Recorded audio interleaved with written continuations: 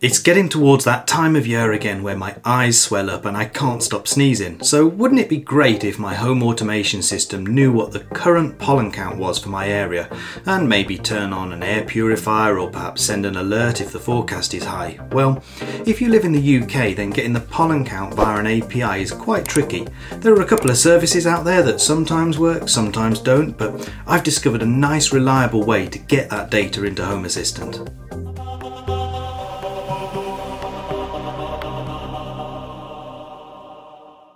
Where do most people in the UK get their news and weather information from? Yes, the BBC. The BBC weather site also very conveniently provides you with a pollen count. And now it's not a numeric value and it doesn't separate grass pollen from tree pollen, for example, but it does give you a rough idea as to how bad it is outside on a scale from low to very high. Now, unfortunately, there is no way to grab this data via an official API. Even the Met Office doesn't seem to include this information in their DataPoint API. So the only way I've found to get this information is by scraping the BBC Weather website. Luckily, there's a special scraper feature built right into Home Assistant to help you with this.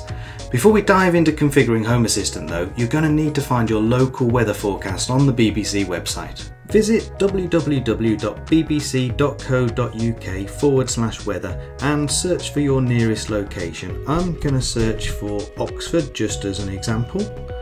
Now you'll notice down under the hourly forecast is three diamonds. Uh, you can see this first one here says pollen and inside that little diamond is an L. Now the letters inside that diamond are what we're planning to grab from this web page. So let's click in your address bar and you want to copy that uh, URL to your clipboard to use in a second. There's going to be a bit of manual configuration editing required to get this up and running, but don't worry, it's not difficult.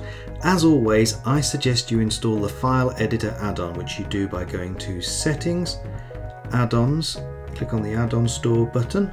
We'll search for File Editor and click on that, and click on the Install button. This takes a couple of minutes. Right, and once installed, toggle the little option to show in the sidebar and click on Start. And then once it's started, you should be able to click on File Editor in this menu on the left hand side. There we go, and by default it should pop you straight into configuration.yaml, but if it hasn't, click on this little browse button and choose it from the menu here. Now down in the video description will be a link to my website and on there you'll find a bit of configuration for you to copy and paste. So go and grab that right now and then scroll down to the bottom of your configuration YAML file and find some empty space and then paste it in. Make sure that the URL part in this resource line here is the actual URL that you've copied from the BBC Weather website. Save the file and then drop down to Developer Tools, double check the configuration and restart Home Assistant so as the new sensors can appear. Right then, once it's back up and running, you need to go and check to make sure it's working. So we'll go to Settings, Devices and Services, and we'll go to Entities and I'm going to filter by pollen. One of the entities will display just a single letter and you can see it's L that's being pulled in from the actual website itself. The other entity is a numeric value, uh, in this case it's 1, and it's on a scale of 0 to 4, where 0 is no reading at all and 4 is very high. So the scraped letter is probably nice to display on your dashboard, but that numeric value is probably going to be far more useful in automations. Well, what can you do with this information then?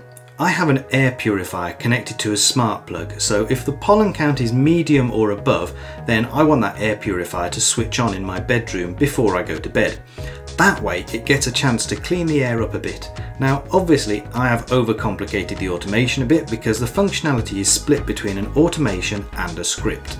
So the automation first just triggers at set times. So you can see it at 9 p.m it is called and it sets the trigger ID to on and then down in the actions if it's been triggered by on then all it does is call the turn on air purifier if air quality is low script and it gives it a parameter of the smart switch that is controlling the air purifier's power.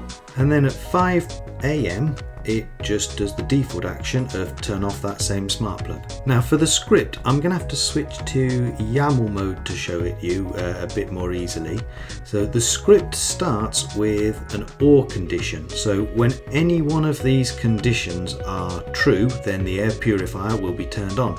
So first I check the air quality in my local area uh, if it's above 50 then I make sure that the um, air purifier turns on. Then I check to see if it's between May and July because that's when my hay fever tends to be worse so I always want it to turn on if it's May, June or July. And then finally I check the pollen count so if it's above level 1 so that means levels 2, 3 or 4 so medium, high or very high then it'll turn on the air purifier too.